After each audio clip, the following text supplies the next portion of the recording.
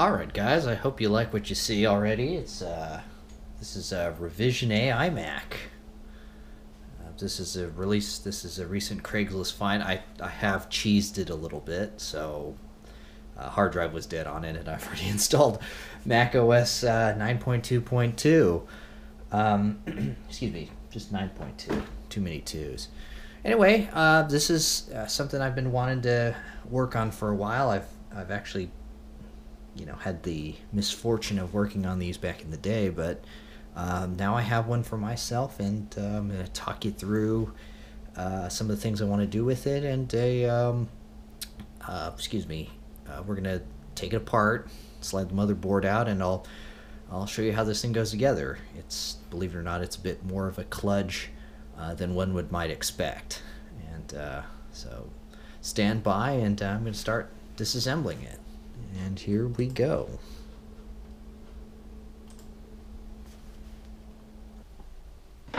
Alright, so we're going to start taking this thing apart. So step one is underneath this handy dandy handle is a, is a screw. We're going to take that out. Like so. And we're just going to pull gently on this 22 year old plastic. It should come out like so. And there's a few more screws we have to take out, but let me explain what you're seeing here. Uh, right now, this is a 15 pin, um, I believe it's a 15 pin, let's double check. Uh, Apple specific uh, monitor connector. Uh, back in the day, Apple used to use a proprietary 15 pin. It's almost, it looks almost like a joystick connector. Uh, output for their monitor. You can see there you go. And this is a serial port for the infrared port at the front of the at the front of the iMac. That's one of the reasons I wanted a revision A. And this is going to be a connector for the USB ports and all the other uh, fun stuff that are on this on this iMac. A screw here we have to take out. and this is where power is inputted into the device. It's almost like a mini mini uh, it's just it's like a small uh, ITX power supply you know same number of pins just miniaturized same shape connector just uh, just right here. All right so now that we've got these doodads disconnected there's uh, two screws at the top right here let's hope I don't drop any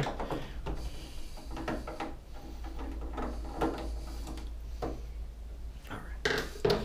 And then the whole monitor assembly should slide out like a little sled here. Just be careful of these wires. There we go.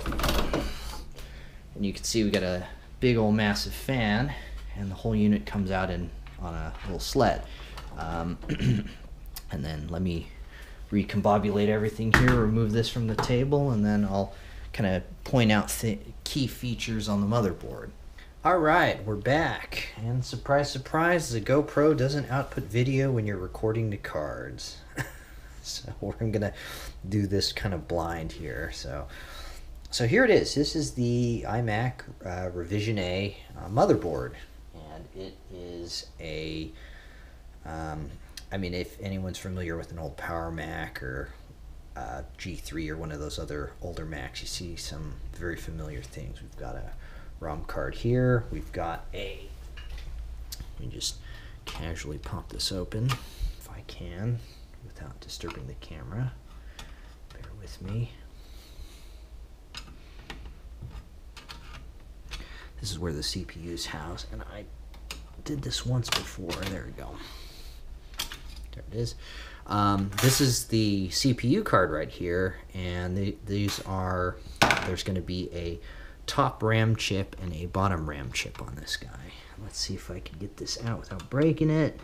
This looks like it's a retainer clip of some kind. And there it is. Smooth. Um, this machine has been at least opened at least one time in its life. I found a strip screw when I was uh, taking it apart the first time to replace the hard drive. And you can see there's the very crude heat sink right there, no thermal paste. And there's the G3 processor. Let's see if we can get this poor thing out.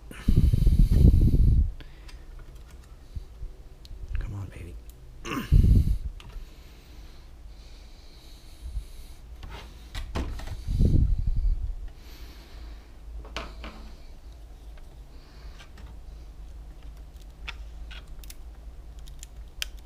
There we go.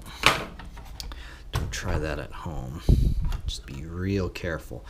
So you can see there's the original RAM slot. I'm not sure what that is. I know that in this thing there's an ATI Rage chipset. Not sure what that is, but I'll give you a little close up there. And then on the other side, uh, this guy as well.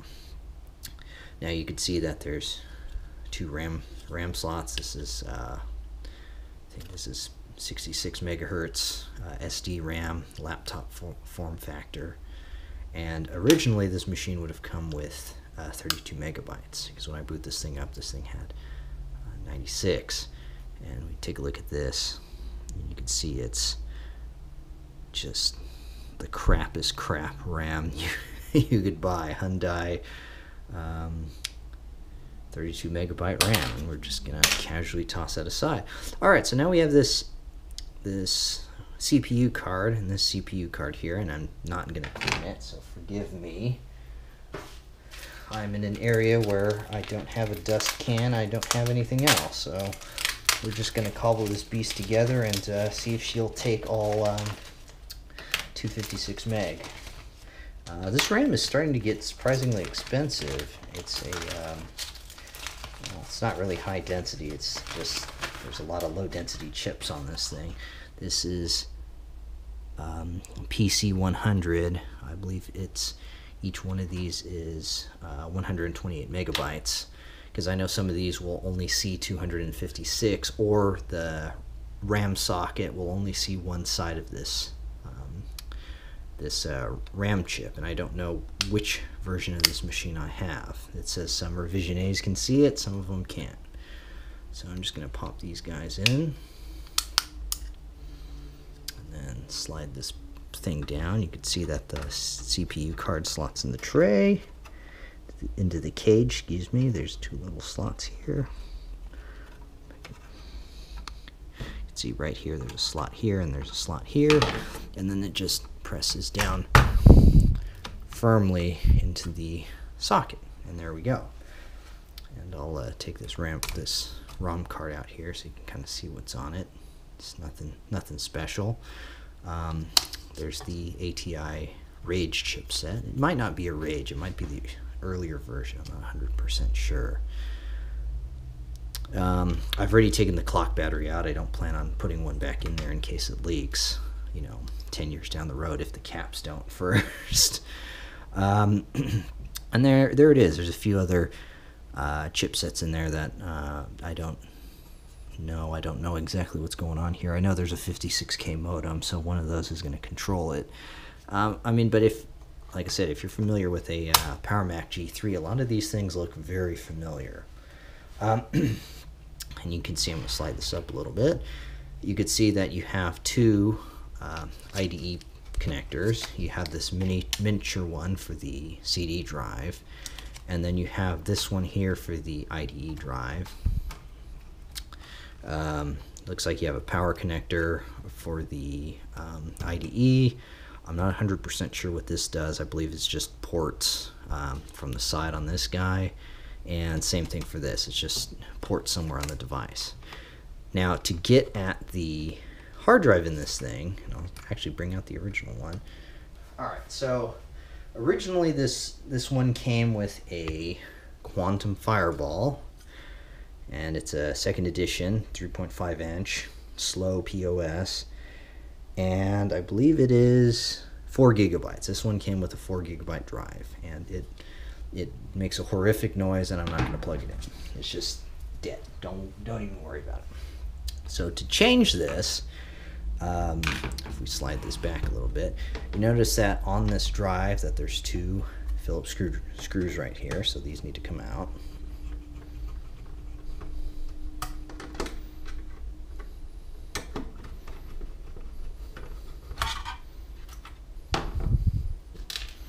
And then you'll notice that if you push back on this, it seems to be spring-loaded, it'll come up. Then you can actually delicately lay that, and you could see the the hard drive. Those screws I took out are actually for the hard drive tray. You don't need to do that for the um, the CD drive. I apologize. That's bad information. Don't use it. Um, but you notice that there's this spring clip here, and what that does is that retains the CD drive in its position uh, all the time. The idea being that um, it's by this tab here connecting to this guy right here, it will always be pushed against the front of the computer. Uh, I'm not sure why they did that. Um, the later later ones don't have this this deal. I think this was just a bodge, um, just to get it to um, what's the word I'm looking for? Just to get it to work using all off the shelf components. And then to put it back, you gotta line the tab up, and then you'll know it's there, and then it locks in. There's actually two retaining tabs on the front that lock in right here and right here on this side. And what they do is they basically prevent it from going in forward and back. Let's say if you're trying to eject the tray, you can see it's kind of loose, but it doesn't want to, it always kind of returns back to its original position. Um, if you're looking at the original uh, mechanism here, there would have been two retaining clips and it would have sat inside its plastic housing uh, on the computer and it wouldn't be jostled around. It would, you know, there'd only be, um, you know, one millimeter movement up and down, left and right, so it wouldn't jostle too much. All right, so that's that's that. And what I'm going to do, since this really doesn't do anything even out of the box, I'm just going to stick that back on half-ass. And then we're going to just casually stick that on and stick that in there. And I might have cut myself. No, I didn't.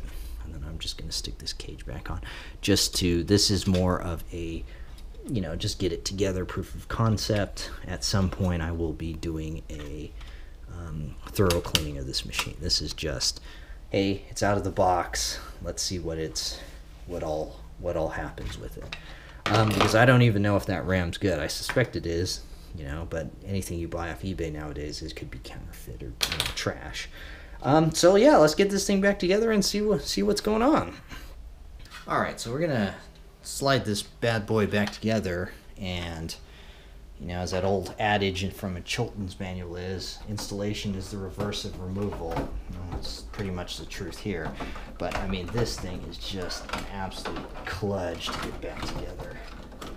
Getting it out is one thing but getting it back in is just exercise in patience because oh one went in quite nicely. Well there you go. Sometimes Sometimes you're just totally wrong. It just works. Um, I was channeling, channeling Todd Howard there, ladies and gentlemen. It just works. And there we go. Put the two screws back in. Now, every screw, the pairs of screws are the same, but every single screw is a different thread. It's a different size. It's just, I mean, they literally parts bin this thing together. It's, it's quite terrible. So we're put the power connector back in like so. I'm gonna slide in the front connectors, speaker, sort of stuff like so. And get this thing back in. Now something uh, you may have noticed when we were taking this machine apart is that it has no airport slot. Um, when this machine was devised, uh, USB had not yet been finalized. So this is not even USB 1.1. I believe it's USB 1.0.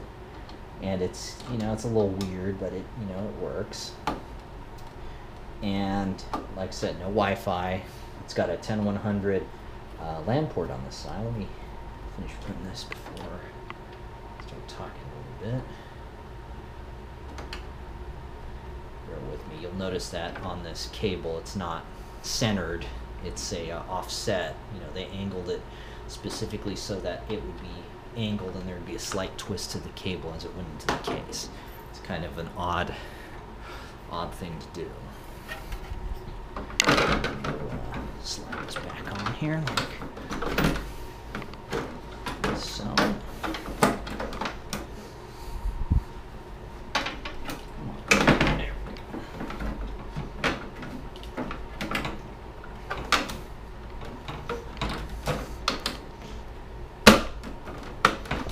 Come on. Get in there.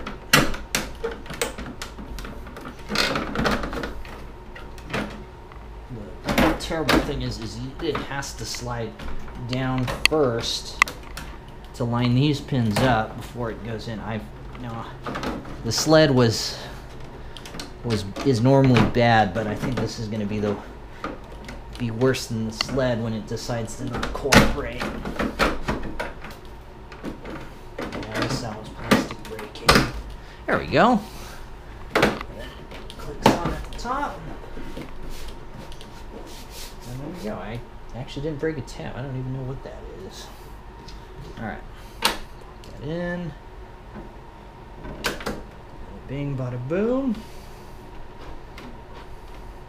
And there you go. It's back together. Now, let's while we're here, let's take a look at some of the side ports. So, on the on this machine, you can see that it's got, you know, modem, of course. Um, on the later on the later iMacs, especially the ones with FireWire, there's normally a reset button and a programmer switch you can push about right here in this area. And there are things that you can use, um, you know, your finger and you could just press it. But you notice that they actually have their paperclip sized hole. So let's say you ran out of memory um, and this thing came with Mac OS 8.6 or 8.5 when it came out and you ran out of memory in the 36 meg, it just hard crashed, you would literally have to find a paper clip to push that reset button or unplug it. You know, in, my, in most cases, now that that memory's come back, yes, we, we would just unplug it and then power it back on. That was the other way to reset. So the, I, I don't understand the point of these two uh, buttons then. Um, 10100, of course, um, USB, and then mic in, and then audio out. And then, of course, there's two stereo speakers in the front and uh, and an infrared port. And that brings me to some things that I want to do with this machine. Is that in on the legacy Apple machines, they used to have a serial port, kind of look like this. It's a mini DIN connector. And because the iMac came out, they started making things like this. This is a Keyspan USB to serial adapter specifically for Mac, and it took advantage of using the USB ports like this. And that's what I'm going to use to interface with some of the older uh, Apple equipment I got lying around the house. In addition to that, I have, where is it? Do is I have this marvelous device, and I'm not. I think it's made by Vonets. Um, but what it does is basically a um, Ethernet to wireless bridge. I think it supports 2.4 and 5 gigahertz uh, wireless, and what it does is it has an either an external power adapter, or in this case, it uses 5 volt off USB, and that just plugs into your Ethernet port. So it's it's feasible to actually get this thing online, connect to the internet, and do stuff, or connect to local talk um, with you know wirelessly to your vintage Apple network if you've got a uh, airport or something else that you're it's being that's functioning as your router. Um, on most of, most of these machines, you find uh, you, it's very difficult to find these with the actual matching door. Uh, most of these, as you can see, if you wanted to plug in, like let's say this dongle, they would have to all be fed through this port. And in most cases, people would have to reset the machine or they do something and they would just take this off and it would just disappear in time. I was lucky enough that mine came with that. And uh, yeah, let me set this thing down. And let's start getting ready to boot up. All right, so without further ado, let's uh, power this guy on. And you notice that the power button on the keyboard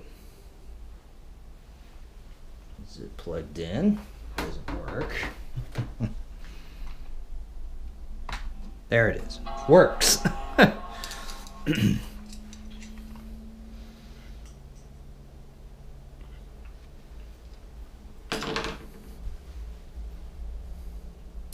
So while it's booting up, let's take a look at some of the front port options. You've got um, two uh, stereo outputs. So the idea was is that you'd have, especially in schools, you'd have two sets of headphones. You know, two people on either side, and they'd be doing something.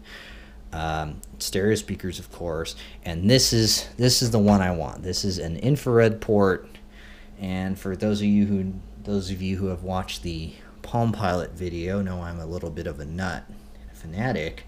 Um, that would have been used for either hot sync or you could actually communicate with the computer. And it seems like in the revision Bs, the later revision Bs, and the rest of the um, the first generation iMacs, especially the the tray loaders, they remove the infrared port. So the revision A and the very early ones, they're they're the only ones that have an infrared port. Ah, and I have a feeling that that RAM is no good.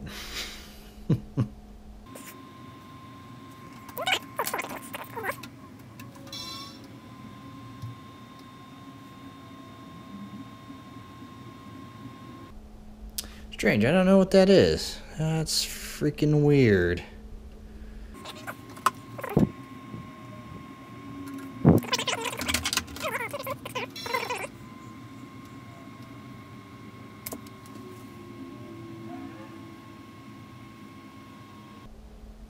Alright, I'm going to try resetting the PRAM. It's uh, Command Option PR.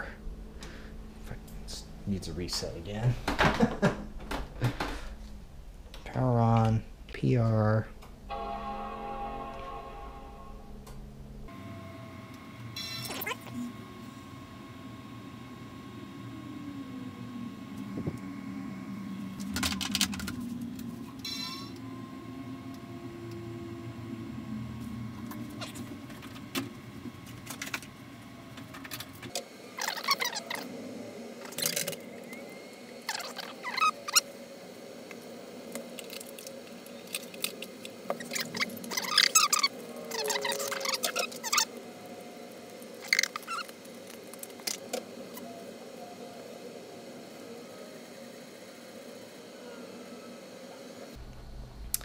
All right, here go. I'm going to install 10.3 on this because obviously it works.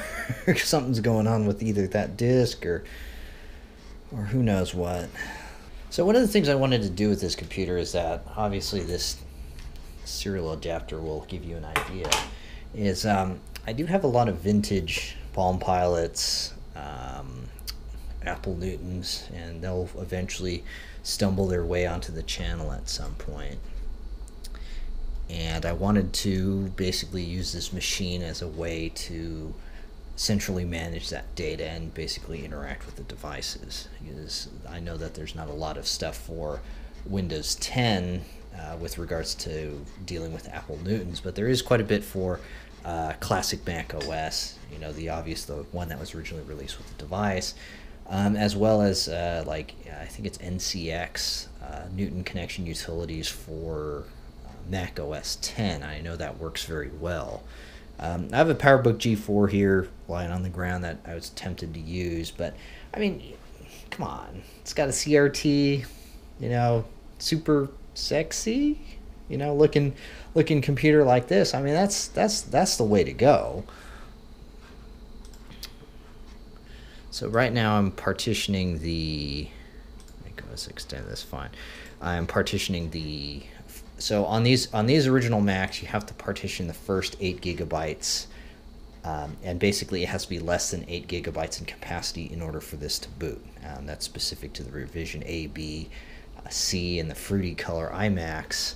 I think I think just the IDE, well, the early IDE ones, they're limited to the hard drive maximum size is limited to 128 gigabytes, and won't see anything higher than that. That was the original um, ATA or IDE specification and in order for this to boot, you still need to be within the first eight gigs of um, space on that 128 gigs. I know there's a reason for it. I don't know exactly why. It is what it is, whatever. All I just know is that if you are doing this, be sure to format, you know, first eight gigs, less than 128 gigs, uh, 128 gigs in size on the on the drive. I reasonably um, I was having problems. I had a I was going to use an SSD. I had one of these. Uh, actually, I had several of them, uh, cheap and some not cheap. Uh, IDE to SATA, and I was just going to use you know an old SATA solid state drive to make this thing really fast. But nothing worked. I tried compact flash adapters, nothing worked. I actually had to find an old drive, which thankfully I had lying around, um, in order to install Mac OS and have it see the drive. It's there's something this this generation of iMac specifically. There's something they're aliens. You know, they're they're a hodgepodge of parts they had left over. That's just, um, you know, it's just what's the word I'm looking for? It's just a. I'm gonna do erase and install. There we go. Continue.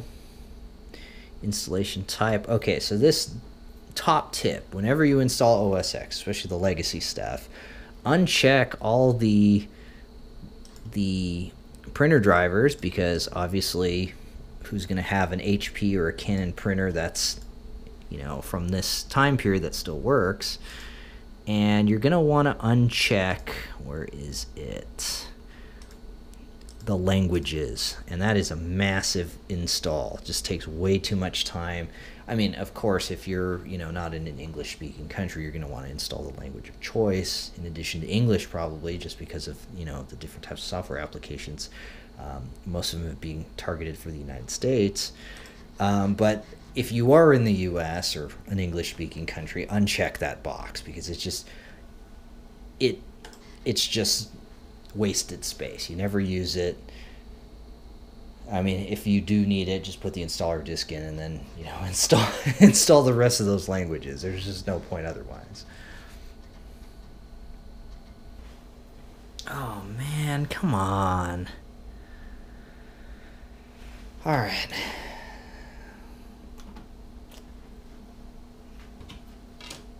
Currently Mac OS 3 ain't gonna cut 10.3 ain't gonna cut it. All right, I don't know if you can see it. You've got uh, what is it? A, a grid of uh, it's a four by four, so you got 16 dots, uh, just white dots in the center. It's like a image that's not loaded correctly, so that's definitely a crash on this thing. Um, I'm gonna try uh, 10.1. See what that does.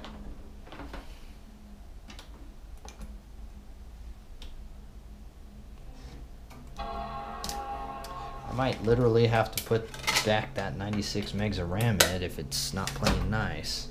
Um, this is one of the things, uh, especially for those of you out there who like dealing with um, these old iMacs. Um, this is one of the things that you'll find uh, are commonplace, especially on the hodgepodge generation. I'm talking Performas, I'm talking um, PowerPC era Macs in general. So anything that's not 6800 based, PowerPC up until uh, 2000, basically when they started having money, you know, from this thing. They used this as a cash cow. Um, iPod, of course, you know, where whatever other revenue they were getting money from. Uh, this these things are are turds. they really are. They want Mac specific drives. They want Mac specific RAM. They're very sensitive to just stuff. I mean, they just don't like you know using old PC parts and slamming it in there, and uh, you know that's a real shame. You know, I mean, it's it's not a handsome device. It's not a cute device. It's just odd looking. It's kind of like a um, you know, it's kind of like driving an old Ford Pinto. You know, they're they're not the greatest. They catch on fire. They're slow but they're kind of neat to look at, you know, especially the ones, uh, you know, pre 73 when they got the bumpers, the little skinny bumper. You know, you don't know what's hiding under there. It could be a, you know, Ford V8 or it could be a, you know, a Pinto motor. You never know.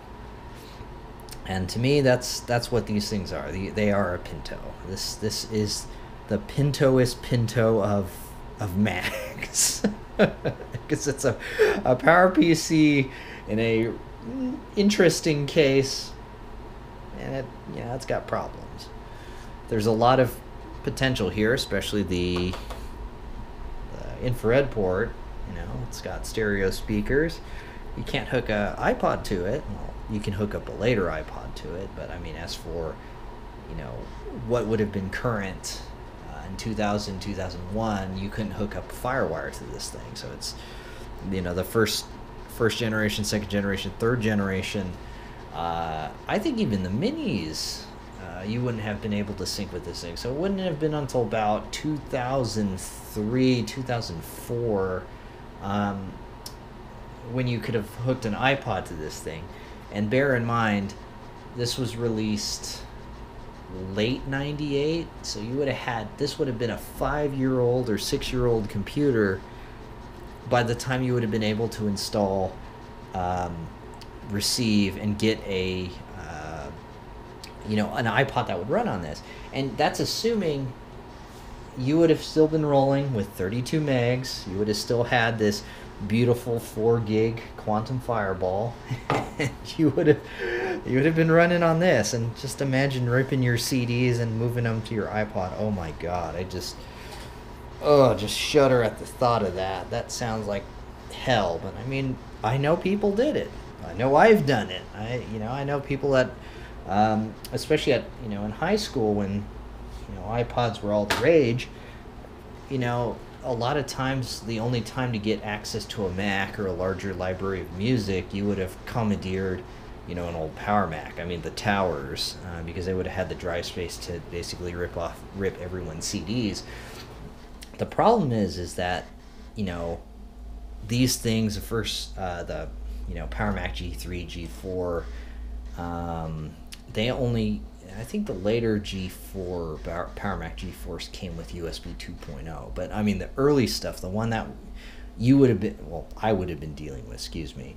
Um, they all had USB 1.1 and moving moving music onto an iPod uh, with USB 1.1. Oh my God, just that's an exercise in patience. I mean, you would literally have to hide your iPod behind the computer, lock it down, and then wait and then come back at the end of the day and hopefully all the music would have been moved on.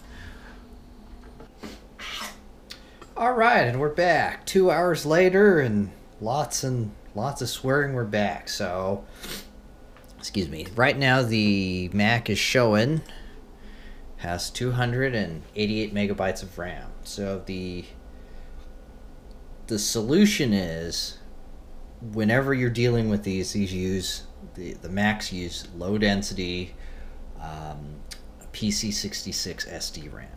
Something looks something like this. This is a 64 meg one. I was able to cheese it a little bit by putting a 32 meg in the slot in the slot under the CPU and then putting the PC100 low density RAM, the 256 one on the top slot and it solved the problem.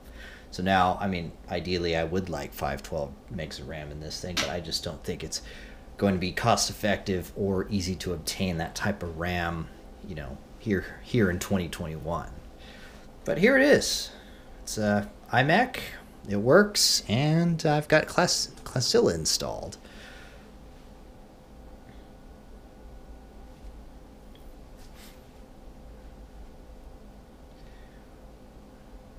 And there it is. Works great. And uh, yeah, it doesn't go on YouTube though. I got to find a solution to that. Probably going to be Mac OS 10 or something something similar. But I mean, for you know, going on Wikipedia, looking up stuff, works perfectly.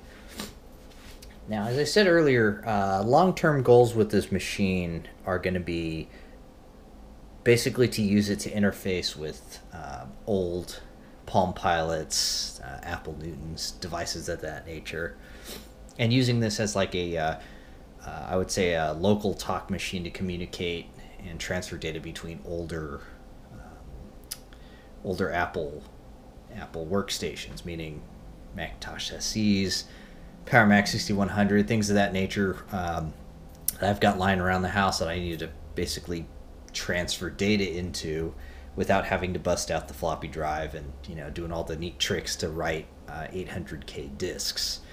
Um, you know that that in today's day and age is very difficult. Uh, one, finding the media, and then two, writing the data in a suitable drive. Uh, most of the floppy drives nowadays are 1.44 um, if you can find them. But yeah, that's that's it. This is this is the Macintosh. Uh, excuse me. This is the iMac G3. It's a revision A. It's 233 megahertz. It's got uh, 200 and I just saw it.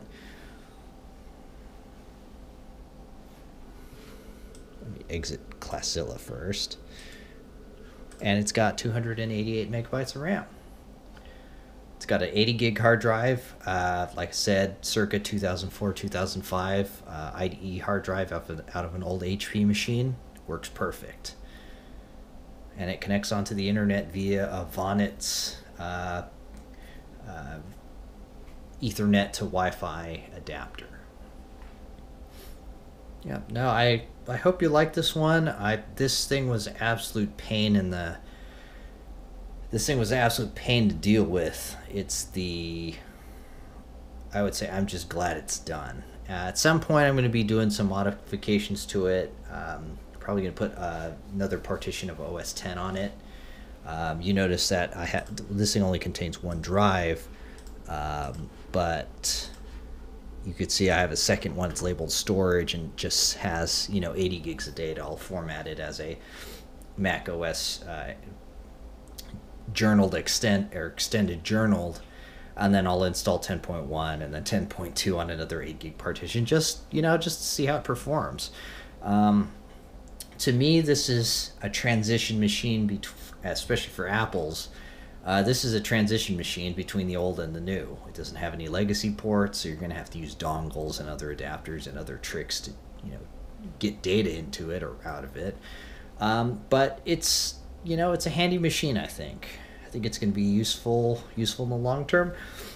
Now, for those of you who are actually looking for one of these, don't buy one. This thing was just finding one that works. That's in relatively decent condition.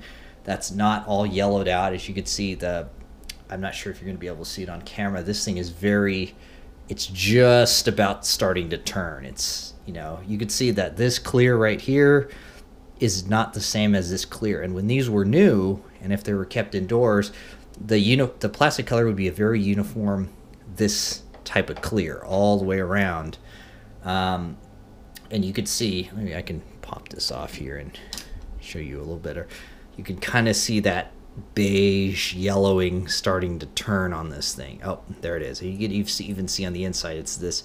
This used to be a very silver color, and it's just starting to yellow. And it's you know that's just what's going to happen to all these machines as time goes on. Even even the ones that are kept indoors and you know in in areas that are, I would say, uh, thermally stable and there's no um, climate control. If, if it's in a climate controlled storage in a box, it will yellow over time no matter what. I, the rate is going to be much slower, but it will yellow over time. And, you know, the end result is going to be, you know, disgusting computers. I know that there's retro bright and there's things of that nature that will help improve the look. Um, but with regards to the long term effectiveness of it and does it affect the strength of the plastic? Does it make it brittle? What's you know what are the long term consequences? Um, it remains to be seen. It's just you know wait and see. We'll see what happens. Um, for those of you that really want one of these things, make sure that when you get one of these, it comes with the door because I know that these break off and fall off, like like I've just demonstrated, and the revision A keyboards have a power button, whereas the later ones do not. They um, can be something like the Apple Pro keyboard, like this, which arguably is a much better keyboard, but you notice there's no power button. Um, and those ones are for the iMac DV and the later ones with FireWire. Um, they're good machines. It's just that that's something that you know if you want a complete set, you want it to be match these ones came with power buttons. I believe the Power Mac G3s also came with the same type of keyboard, uh, but don't hold me on that. I have to, I have to look that up. Um, but there it is. I hope you liked it. I know um, I know I unfortunately I'm running out of 3M Cantata material again. You know those tapes are as scarce as hen's teeth, and uh, I just you know I just want to keep throwing stuff on the channel and keep you guys interested and and uh, hope you enjoy it. Well, thanks for watching and uh, see you again next time.